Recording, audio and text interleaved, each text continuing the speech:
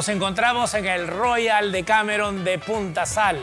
Realmente hemos venido a cubrir este extraordinario resort y estamos acá con su gerente general, Jaime. Bienvenido. ¿Cómo estás, Antonio. Jaime Jiménez? Muy bien. Un gusto tenerlos en casa. Muchas Muchísimas gracias.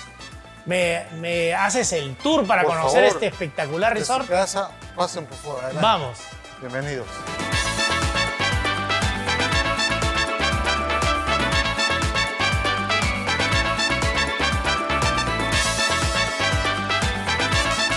Jaime, bienvenido al cliente.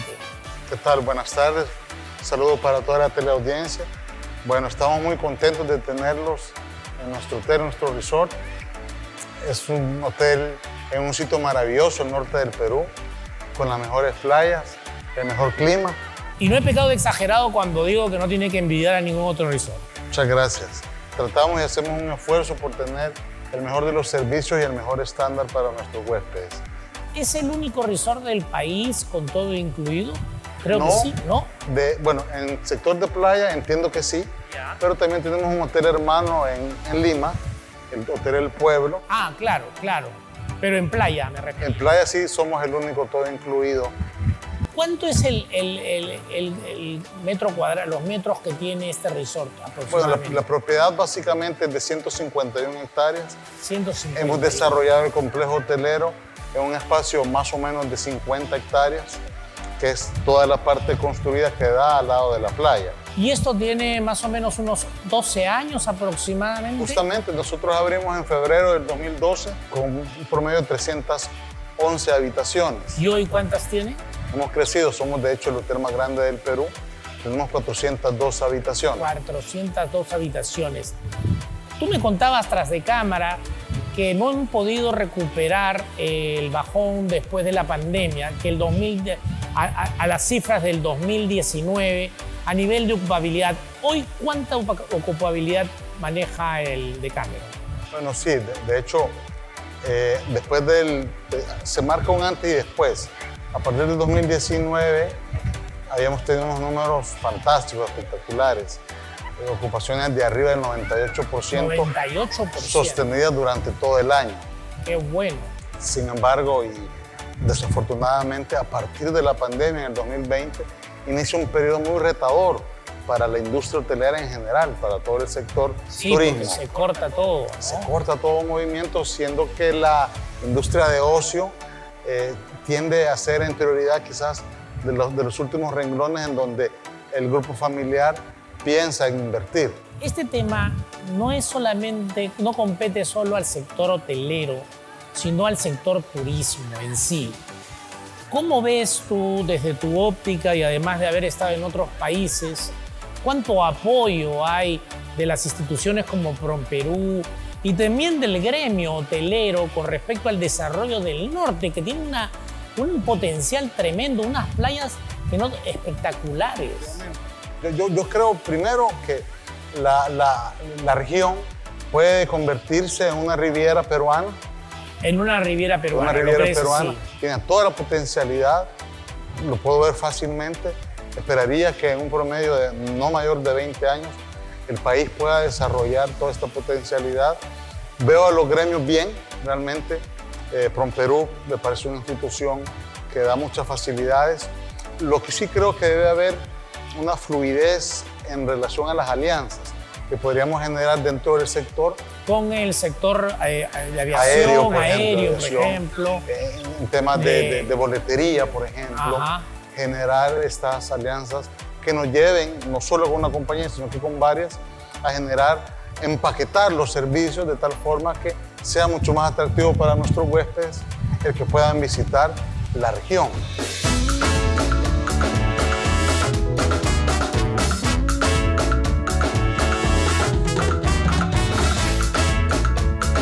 Con respecto a tu segmento, tú tienes un segmento B2B y tienes un segmento B2C. El B2C, un poco para que la gente lo, lo- lo entienda, estamos hablando del cliente normal y el, y el B2B es el sector empresarial. Este, lo manejan ambos. ¿Cuál es el mix? ¿Cuánto pesa el B2C? ¿Cuánto pesa el B2B? eh? Sí, bueno, de hecho nosotros, el, B2B creo que es un mercado que nos gustaría desarrollar más. Hay un salón de convenciones para 500 personas. 500 personas. Acá se pueden hacer seminarios internacionales pueden importantes. Hacer congresos, eventos, seminarios, simposios. Eh, hay una serie de... El, CADE, por ejemplo, también podría venir acá.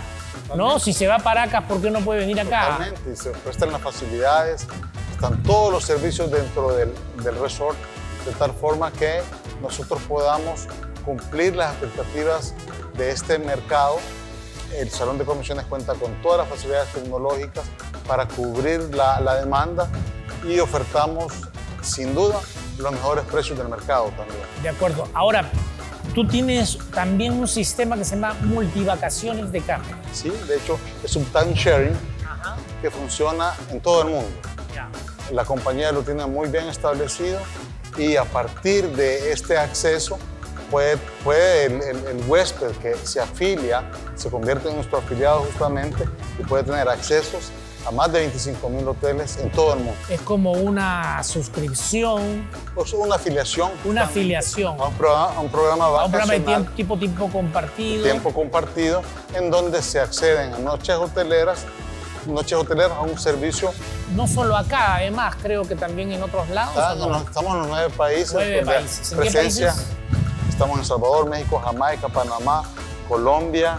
Ustedes tienen eh, también un ecoturismo, porque, porque tienen unos manglares, ¿no? Donde, donde adicionalmente al resort también hacen una serie de visitas. Cuéntanos un poco sobre este ecoturismo. Nosotros manejamos una empresa hermana, se llama Cameron Explorer, que es justamente donde el huésped puede acceder para hacer tours, para conocer la región.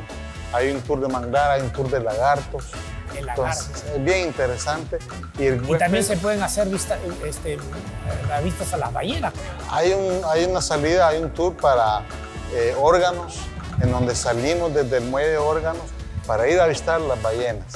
En ese sentido, nosotros tenemos toda la red en transporte, en, en tours, en personal para manejar este, este mercado y ofrecer algo alternativo sobre el hecho de estar en el resort que también puede generar conocimiento y cultura. De acuerdo. De la región. Perfecto. ¿Te parece si seguimos este, recorriendo el hotel? Me parece perfecto. Ya, nos vemos.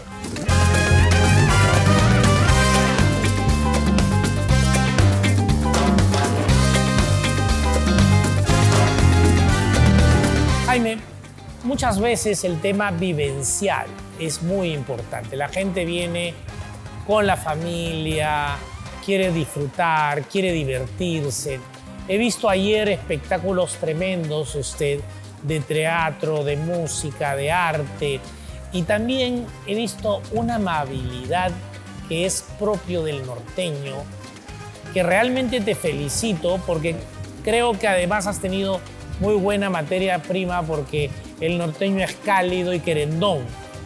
Este, ¿cómo, cómo, ¿Cómo ves esto competitivamente con las otras regiones del país? Yo lo veo como una ventaja, puesto que este es mi quinto país donde trabajo y de hecho distingo y valoro mucho la calidez y amabilidad genuina que tiene el, empleado o, la, persona norteña.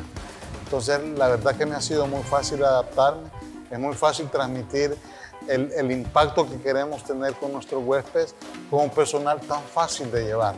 Entonces yo agradezco. Y se le nota contento al personal. Gracias. Yo agradezco mucho porque nuestro negocio también descansa y un valor, nuestro máximo valor después de nuestros huéspedes son nuestros colaboradores. Me alegra escuchar eso.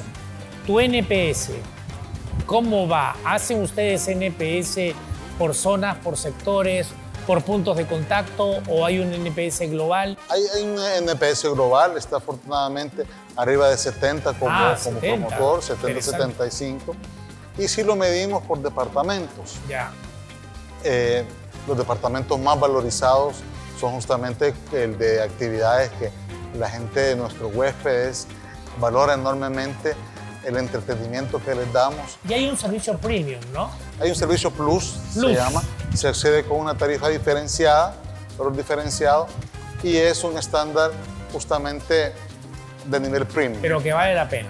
Vale la Es- pena es porque yo lo he, lo he- realmente- lo he- lo he gozado, lo he gozado. es el servicio, digamos, más solicitado y muchas veces nos quedamos sin la disponibilidad porque el huésped aprecia Todo mucho. el mundo quiere buscar el tema de Plus. La verdad es que yo te digo que estas son las cosas difíciles que el conductor del cliente tiene que hacer para trabajar y hacer un programa en este maravilloso resort con todas las comodidades que tú, Jaime, nos has brindado. con mucho gusto. Nuestro huésped es lo más importante y queremos transmitir justamente eso, invitarlos a que nos visiten, a que vengan y que disfruten de la experiencia de Cameron. Mira, te agradezco muchísima la, la invitación y quiero hacer un brindis por toda tu gente que está acá además viéndonos y que yo creo que son el motor, son los que trabajan más que tú, seguramente, y la razón por la calidad de esta experiencia. Gracias. Salud. Salud.